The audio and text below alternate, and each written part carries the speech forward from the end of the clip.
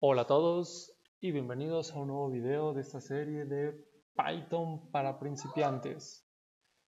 El día de hoy vamos a ver cómo crear funciones. Bueno, ¿qué son las funciones y cómo crear funciones? Eh, vamos a crear nuestro mm, archivo del día de hoy. Estamos ya en la clase número 18 y son funciones.py.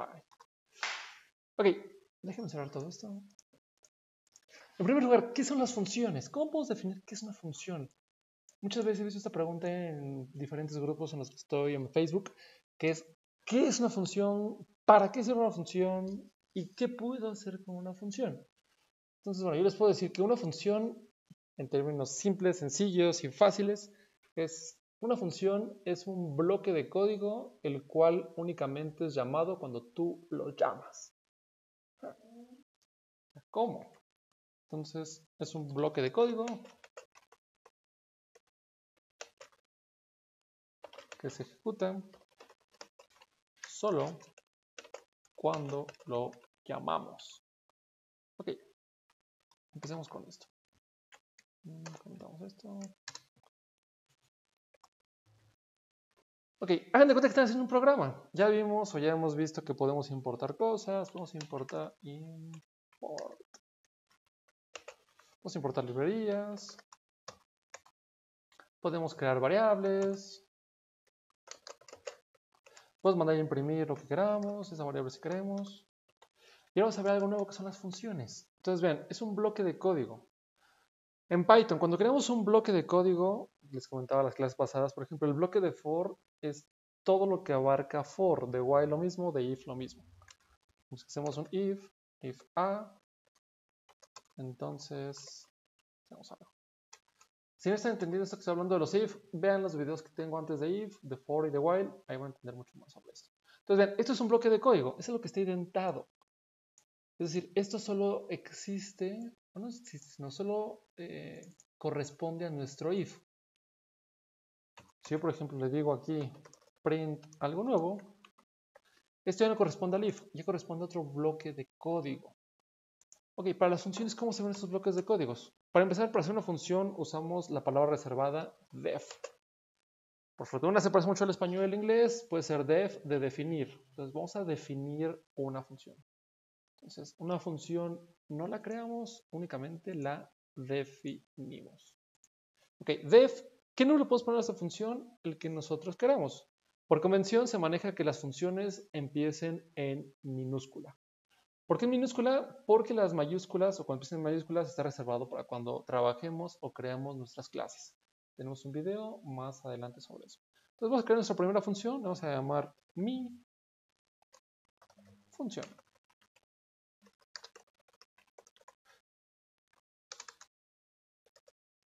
Y después tenemos dos paréntesis. Estos dos paréntesis los podemos dejar vacíos. Eh, es aquí donde nosotros mandamos los datos. Ahorita voy a hablar sobre eso. Más quiero hablar sobre el que es un bloque de código. Vamos a decirle que imprima hola a mi función. Ok. Vamos a quitar el if y vamos a mandar este para acá abajo. Para que veamos lo que está haciendo. Vamos a decirle hola. Vamos a ponerle variable A. Más para ver qué está haciendo. No nos importa, no nos importa importar matemática. Entonces lo corremos. Si ven, imprimimos la variable A. Después aquí tenemos la función y después imprime otra vez la variable A. Ok, ¿por qué no está imprimiendo hola a mi función? Entonces aquí es donde viene la segunda parte. Ya vimos que es un bloque de código es decir, todo lo que esté dentro de esta indentación va a pertenecer a nuestra clase. No importa si le damos muchos espacios, no importa si aquí no hay una indentación. Print. Esto. Esto. También es la función. Entonces ven, aunque aquí no hay como tal una indentación, no importa, porque mientras no salgamos de la indentación, es decir, mientras no pongamos esto a la izquierda, fácil de llamarlo. Para Python, todo esto es parte de este bloque de la función. Okay. Y ahora lo que está pasando de que no hace nada, ¿por qué no imprime hola mi función? ¿O por qué no imprime esto tenemos la función? Esto pasa porque únicamente se ejecuta cuando la llamamos. Ok, ¿y cómo lo hacemos para llamar una función? Es muy sencillo. Simplemente ponemos el nombre de la función, en este caso es mi función, y le mandamos los parámetros. ¿Qué parámetros vamos a mandar ahorita? Ahorita no se preocupen por los parámetros. En este caso no mandamos nada, entonces simplemente se llama así, que es el nombre de mi función, abrimos y cerramos paréntesis y corremos. Si ven, ahora sí se imprimen estos dos textos, que es hola mi función y eso también es la función. Le doy los enter para que veamos lo del bloque. Vean, aunque tenga todos estos espacios en blanco o enters, eh, no esté correctamente intentado, por llamarlo de una manera, todo esto pertenece a la función. Entonces, recordemos, una función es un bloque de código que se ejecuta únicamente cuando la llamamos. Ya vimos cómo la llamamos. ¿Cuántas veces la podemos llamar? Cuantas veces sea necesario. Es lo bonito de las funciones. No tengo que volver a escribir print la mi función. Eh, vaya, esa es la gran ventaja de las funciones. Que lo haces una vez y después lo vuelves a llamar cuantas veces sea necesario. El perro se ha vuelto loco. Ok, sigamos. Ya vimos que, ¿cómo se llama la función?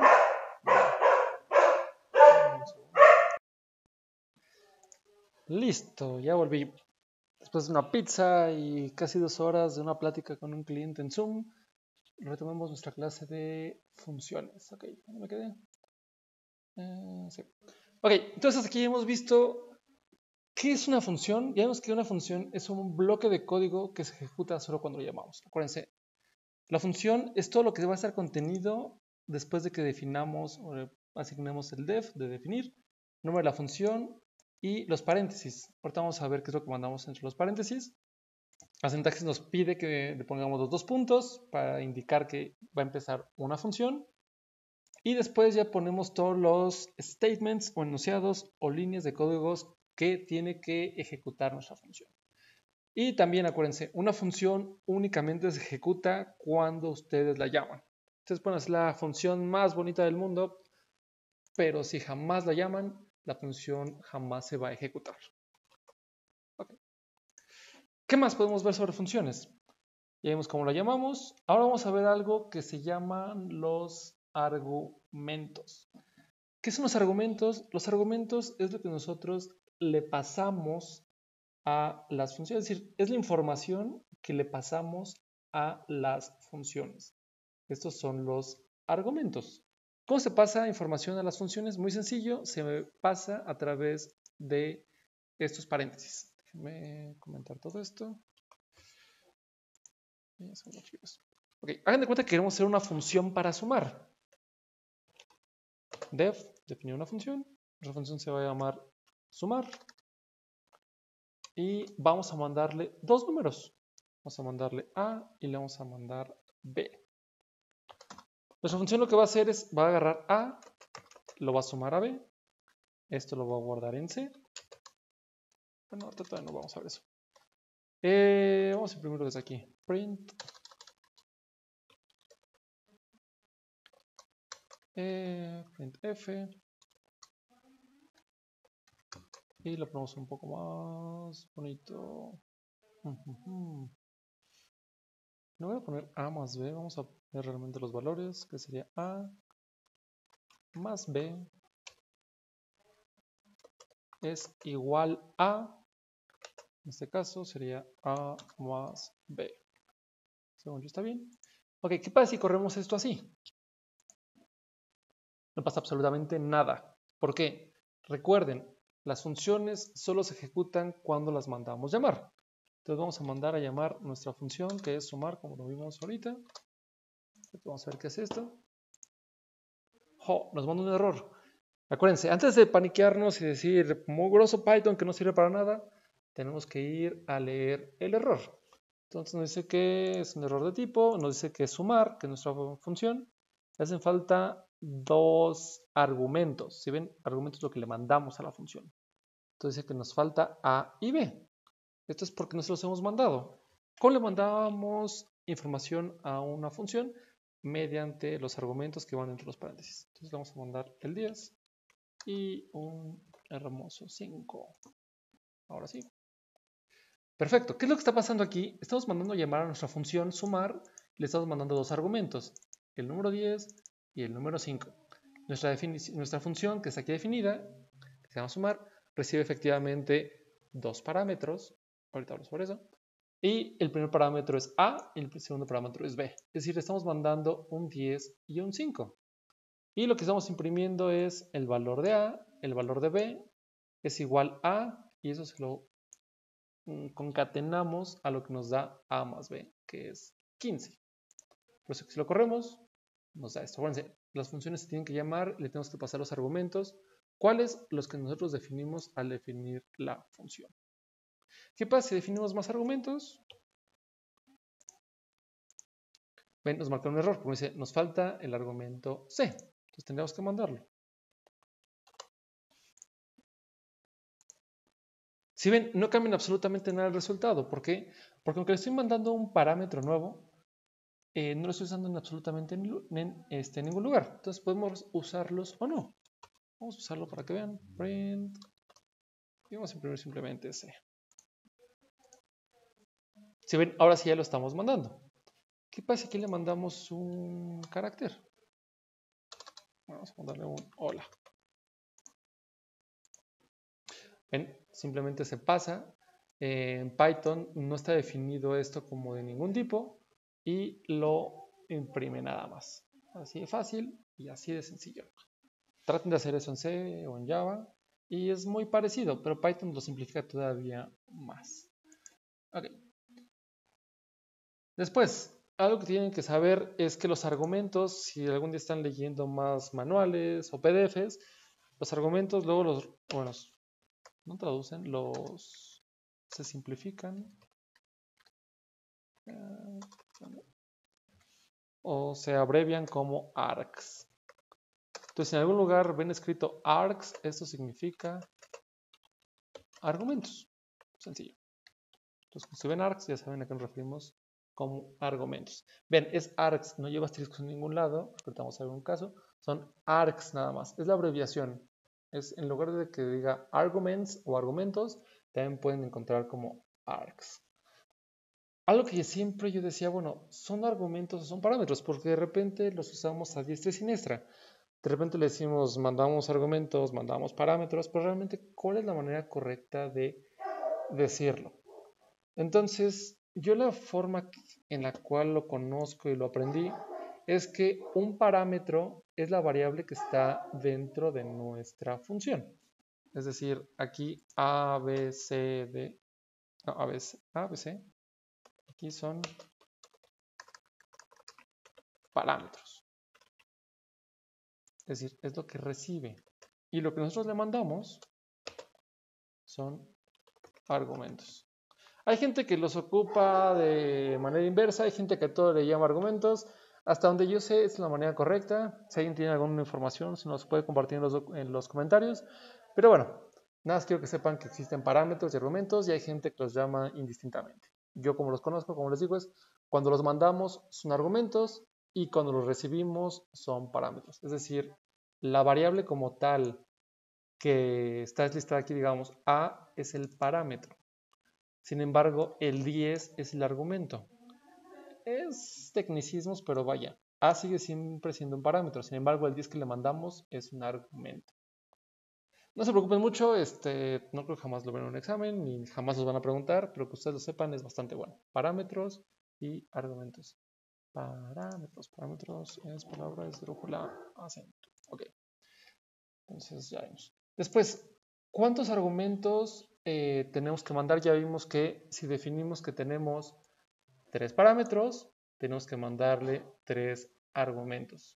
¿Por qué? Porque si no Python nos va a decir, oye, nos hace falta un argumento. Bueno, nos falte, hace falta, bueno, sí, de hecho el error que marca argumentos. Nos hace falta un argumento. Ok, pero ¿qué pasa si no sabemos cuántos argumentos vamos a tener?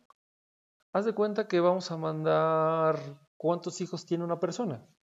Tú no puedes saber cuántos hijos tiene una persona. Vamos a comentar esto. Vamos a hacer una función que se llama def. Eh, ¿Cómo le llamamos? Familia. Lo que va a hacer familia es que nos va a imprimir, bueno, vamos, vamos, va a recibir el parámetro que es hijos. Pero vaya, no puedo decir que va a ser hijo 1, hijo 2, hijo 3. ¿Por qué? Porque no tengo o no sabemos cuántos hijos tiene esa persona. Entonces, algo que me encanta de Python es que podemos hacer esto. Ponemos asterisco y después el nombre de la variable, en este caso hijos. Entonces le puedo decir que me imprima, vamos a hacer un ejemplo, print, y vamos a decir que sea f, y es, a ver, la magia de Python. Hijos. Está. Y esto viene indexado.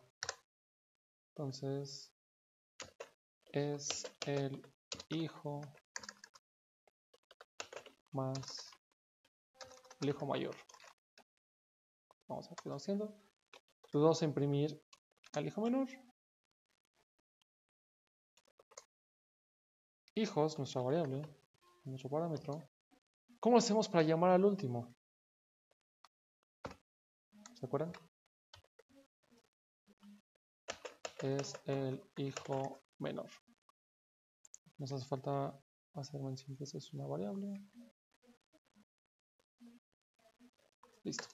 Ok, ya definimos nuestra función de familia en la cual puede recibir n cantidad de argumentos. ¿Por qué? Porque no sabemos cuántos puede tener una persona, cuántos hijos tiene una persona. No podemos definir lo que siempre tiene que mandar uno, o dos, o tres, o cuatro, o ocho. O trece, como mi abuela. Eran otros tiempos, no había tele. Entonces, ¿qué es, lo que, ¿qué tenemos que hacer? Tenemos que mandarle ahora sí los argumentos. La mandamos llamar, familia, ¿Qué argumentos le podemos mandar? Vamos a mandar el hijo más grande, el mediano y el pequeño. Vamos a ver qué hace. Si ven, nos imprime suponiendo que están poniendo a los hijos en el orden de edades. Esto recibe n argumentos, no sabemos cuántos. En este caso estamos recibiendo, bueno, le estamos mandando tres.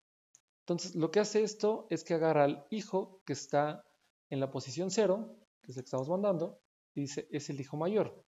Después, no sabemos hasta dónde llegue. Yo no puedo decirle que aquí este, imprima al hijo 2, o al 3, o al 4. Se le ponemos que imprima al último de la lista, y ese debe ser el hijo menor. Vamos a ver qué pasa si solo mandamos dos argumentos. Será lo mismo. Solo le mandamos uno.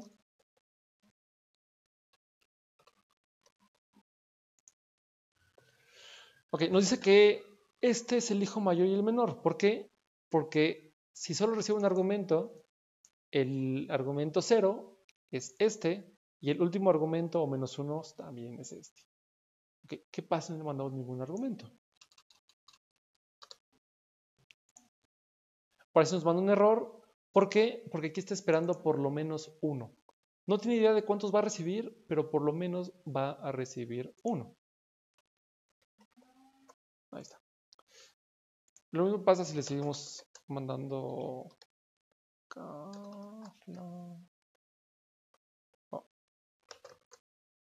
Bruno, cuantos quieran.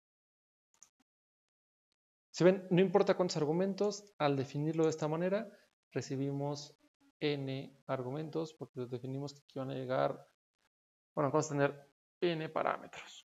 ¿Por qué? Porque todo lo que llegue lo va a meter en una lista. De hecho, esto lo podemos, podemos hacer un for e imprimirlos todos. Dentro de la función, hacemos un for, le decimos para cada hijo en hijos.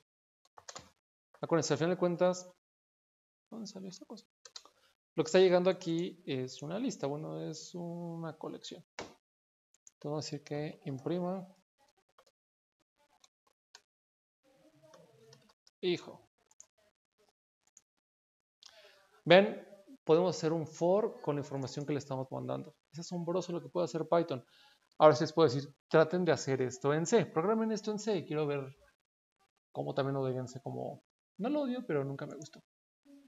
Ok, ¿qué más?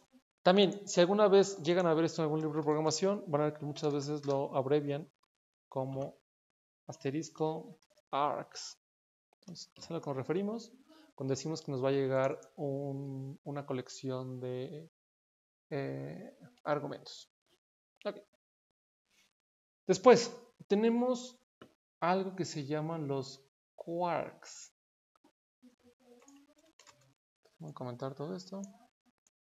Esto podría ser para mí es como que lo más complejo de las funciones y cómo mandar parámetros. ¿Cómo se llaman? Se llaman quarks. Vamos a ver qué es eso.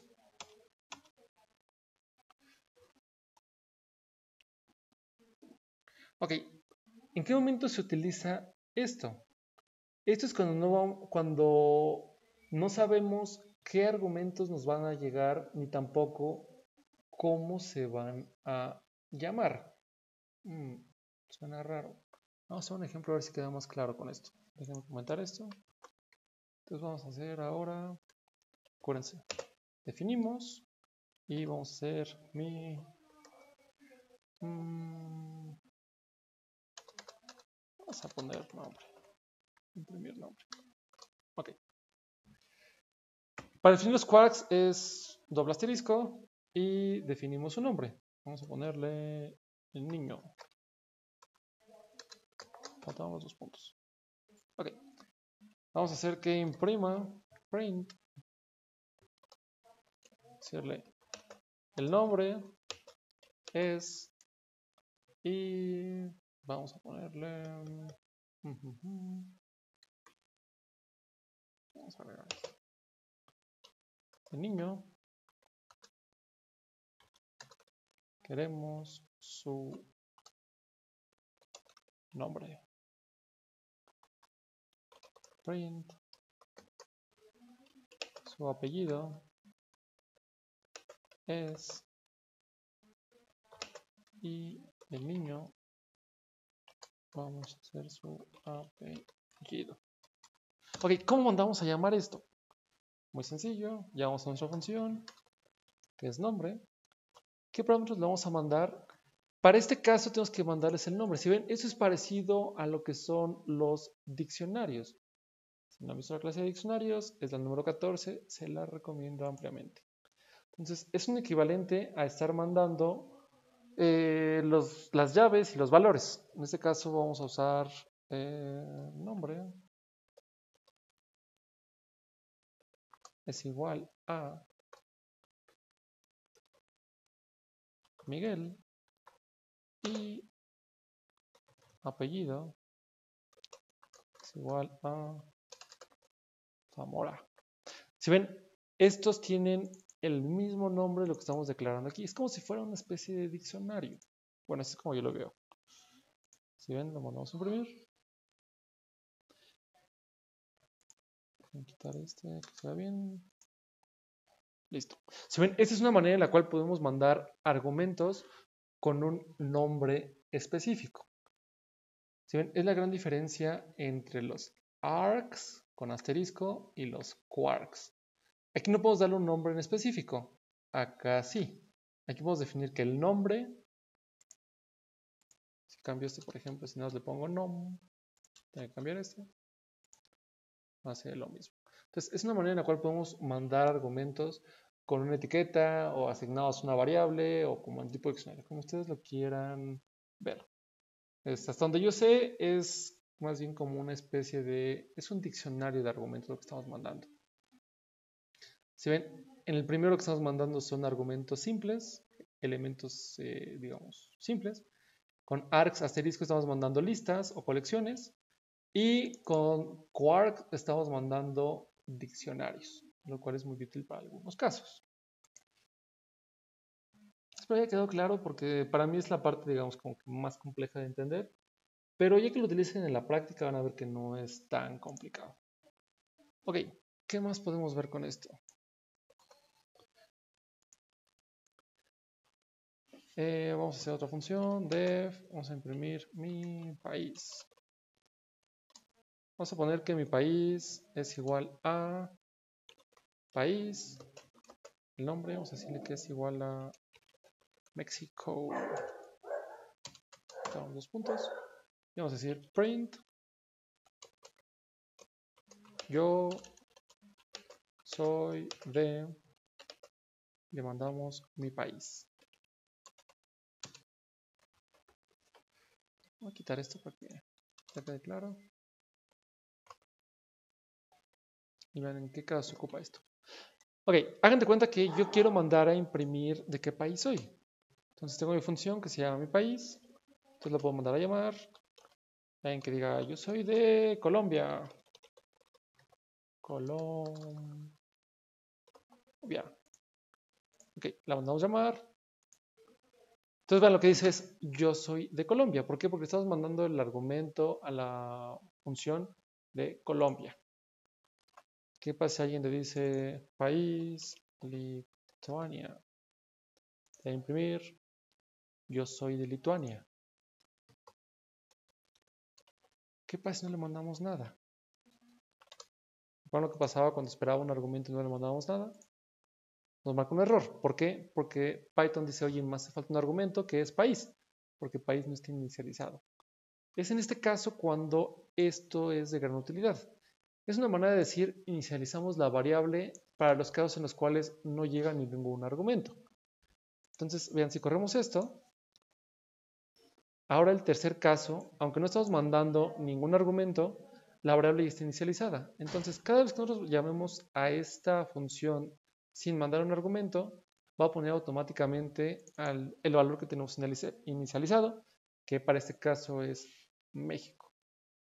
Entonces, ven, esa es la utilidad de inicializar las variables o como se conoce realmente es definir un valor default de parámetro. Entonces, estos son los valores default de parámetro. Ok, ¿qué más podemos hacer con variables? Podemos mandar también una lista. Vamos a regresar con otras frutas. Frutas. Como hacíamos una lista, no saben qué es una lista, por favor, ir a ver el video de las listas. Manzanas. Y ciruelas. Creo que no tenemos ciruelas. Ciruelas. Y hacemos otra función que sea hacer definir, imprimir. Imprimir.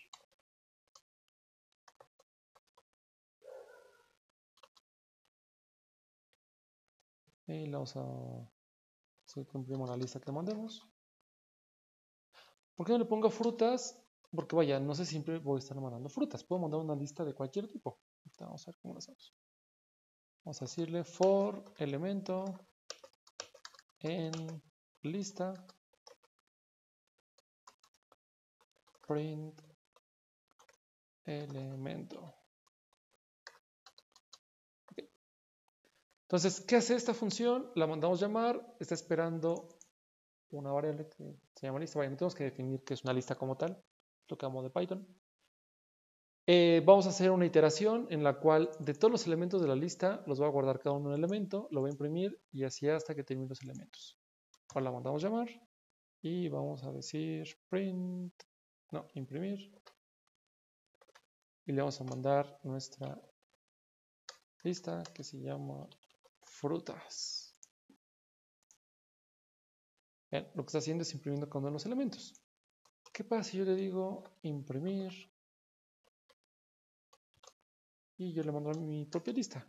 1, 2, 3, 4, 5, 6.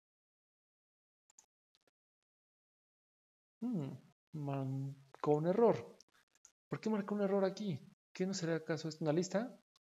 No, acuérdense, las listas siempre van entre corchetes. De hecho, lo que estaba haciendo antes en los corchetes es que estaba mandando 1, 2, 3, 4, 5, 6 argumentos diferentes. Al meter entre corchetes es un solo argumento que es una lista. Lo corremos de nuevo. Y ahora sí, vean, nos imprime primero la lista de frutas y después la lista que le estoy mandando aquí. Perfecto. Espero que haya quedado claro eso. Ok, ¿qué más hacen las funciones? Ya vimos que reciben, que le pasamos argumentos, que reciben parámetros y si algo recibe, es probable que es algo que también nos pueda regresar. Eso le llamamos que regresa valores. ¿Cómo lo hacemos para que una función nos regrese un valor? Es sencillísimo. Vamos a crear una nueva. Que es, es, vamos a definir nuestra función. En nuestra función le vamos a decir mmm, potencia. Va a recibir dos valores, va a recibir x, bueno, n y x. Oh, n y x. Entonces ponerle que el resultado o total es igual a n elevado a la x y lo regresamos. Return.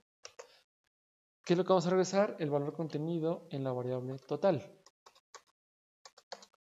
Ok, ¿cómo se utiliza esto? Ya tenemos que le mandamos dos valores. Entonces vamos a hacer eso. Potencia. Vamos a hacer 2 eh, elevado a la 5. Vamos a ver qué hace esto.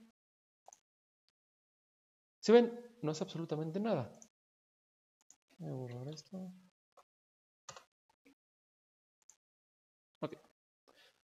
¿Por qué no hace nada esto? Pues porque no estamos diciendo que haga nada. Nos regresa un valor, pero no decimos que haga nada con ese valor que nos regresa. ¿Qué puedo hacer con ese valor? Lo podríamos guardar. X es igual a potencia. Perfecto, ya está guardado, pero no le hemos dicho que haga nada con ese valor guardado. Print X. Listo. Vamos a mandar 1, por ejemplo 5 a la 3. Entonces, ¿qué es lo que está haciendo aquí? A nuestra función le estamos mandando dos argumentos. La función los procesa en este caso es una potencia, está haciendo una potencia, que en este caso es 5 al cuadrado, no, perdón, al cubo, y lo único que está haciendo es que nos regresa el total. Este total lo regresamos al lugar donde lo llamamos y lo podemos almacenar en una variable. Así de sencillo. A veces es complejo entenderlo, pero créanme, ya que lo estén usando en la práctica, van a ver que es sencillísimo utilizar. Entonces, espero sirve el return para regresar los valores de una variable. ¿Podremos regresar más de un valor? Siguiendo la lógica de Python, vamos a ver qué puede si regresa n y regresamos x. Vamos a ver si esto es posible. n y x. Voy a cambiar los nombres para que no piensen que es el mismo. Potencia lo voy a llamar total. Y... Vamos a ver si no nos marca ningún error. No marca ningún error. Vamos a ver si esto imprime. Si esto imprime ya es una gran ayuda. Print F. Y lo que necesito es que imprima la variable número a la que hasta donde yo me acuerdo a la potencia es este y después necesitamos la siguiente función, el siguiente valor que es la potencia como tal, que le mandamos. Es igual a total. Funciona. Vean qué maravilla. Python puede regresar más de un valor. ¿Y cómo lo guardamos? De esta manera. Acuérdense, lo va a guardar en el orden. Es decir, si yo regreso primero el total n que ya lo había recibido y la x, lo va a recibir en el mismo orden que lo regresa. Primero el total, después la n y después el valor x que es la potencia. ¡Wow! Es maravilloso esto. Lo que les digo es, traten de hacer esto en C. Van a ver que no es nada bonito C. Ok, ¿qué más podemos hacer? ¿Se acuerdan de los for y los if y los while? Cuando necesitamos crear algo no sabemos qué va a hacer todavía. Si nosotros creamos una función, hagan de cuenta que van a hacer una función que sea definir, hackear Facebook. Pues siempre nos piden los programadores. Ok, ¿qué pasa si quieres hackear Facebook? En algo, bueno, quieres hacer una función que hackee Facebook, pero no sabes cómo hacerla todavía. No la puedes dejar así porque Python te va a decir, oye, esto es un error. Lo que podemos hacer, igual que en los ciclos while for, if, es darle el, bueno, la sentencia pass. Ya no marca el error. Es lo que hace es decir, mira, está la función y en algún, en algún momento la voy a terminar, en algún momento esto va a hacer algo. De hecho, la pueden mandar a llamar. hacker Facebook. ¿no? no está mejor. Recién un argumento. La puedo mandar a llamar. Y si no hace nada. Simplemente entra la función, tiene el statement o la sentencia pass y simplemente no hace nada. Ok, ya casi terminamos. Ahora vamos a ver lo más complejo y complicado que existe en las funciones. Es algo llamado recursión.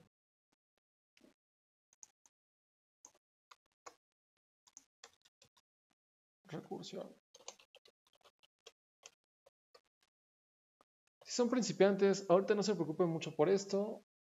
Yo escasa vez lo he visto funcionando una recursión en un caso real, pero bueno, es bueno que sepan. ¿Qué es la recursión? La recursión es cuando una función se manda a llamar a sí misma. ¿Cómo es eso? ¿Cómo una función se puede mandar a llamar, mandar a, llamar a sí misma? Vamos a ver un caso. Vamos a decir print. Ah, no, perdón. Definimos una función. Vamos a llamarle recursiva y recibe dos parámetros. Recibe n y recibe nombre. Entonces lo que va a hacer es... Eh, ¿Cómo era la recursión?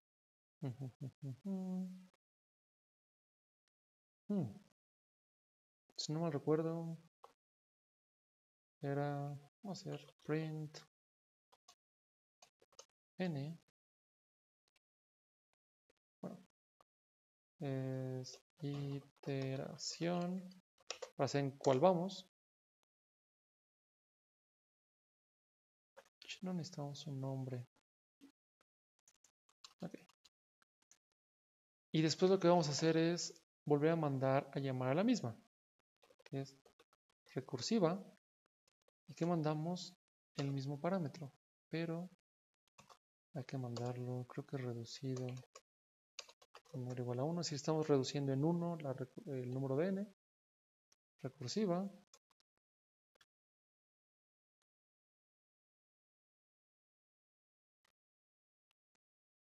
Y había que poner una condicional. If n es igual igual a 0, return 0 return in ah, no me acuerdo cómo se hacía esto. Y como tres exámenes de esto. Recursiva. Vamos a ver qué hace esto. Hmm, a ver si entramos en un loop infinito. Vamos a borrar esto.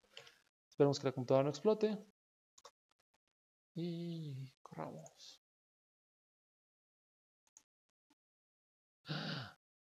Sí funcionó. Oh, por Dios. Ven, tantos años de estar peleándome con C, sí sirvió de algo.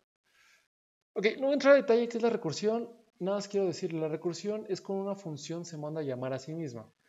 Eh, tenemos que poner una condición en la cual termine esta recursión. ¿Por qué? Porque si yo no hago este, el menos uno, bueno, vamos a comentarlo. Esto podría seguir para toda la eternidad. Ven, simplemente sigue y vamos a acabar esto. Entonces, siempre necesitamos poner algún statement, alguna declaración, algún parámetro, algún, una sentencia en la cual disminuyamos algo y una condicional para que cuando toque ese, ese lugar termine la recursión. Podemos mandarlo muchísimo más grande, podemos mandar, vamos a mandar 100.000. Ah, nos mandó un error. Eh, máximo recursion depth exceeds while. Vean, hasta esto truena las computadoras más potentes que se pueden imaginar. Entonces, nada más quiero que ahorita aprendan que la recursión es cuando mandamos a llamar a una función dentro de sí misma. Ahorita no se preocupen, nada más llévense esa idea y dudo que algunas la vayan a ver en un caso real, por lo menos mientras sigamos en el nivel de principiantes, esto ya es un tema mucho más avanzado de programación, no solo de Python, sino de programación, el entender la recursividad. Perfecto, hasta aquí dejamos en esta clase 40 minutos, pero bueno, son las funciones. Las funciones es lo más importante, de lo básico que hay que saber sobre cualquier lenguaje de programación, incluido Python. Ok, hasta aquí el día de hoy. No olviden suscribirse al canal, acuérdense, van a ser 37 videos, 37 clases, vamos en la 18, entonces esta es la clase de en medio. Ok, adiós.